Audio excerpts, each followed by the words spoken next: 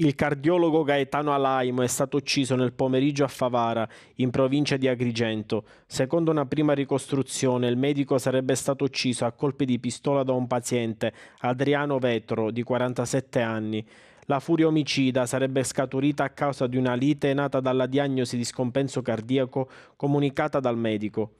L'uomo incensurato sarebbe stato fermato dai carabinieri all'interno della sua abitazione, nelle campagne di Favara.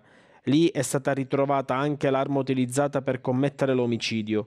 Vetro poi è stato interrogato nei locali della locale tenenza dei carabinieri.